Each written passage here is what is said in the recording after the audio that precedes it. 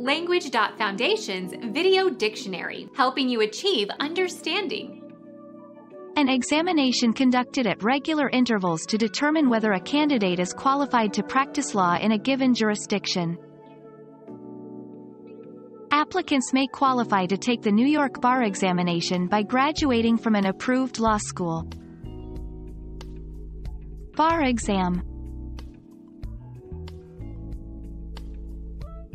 Become our student and get access to effective and free educational materials.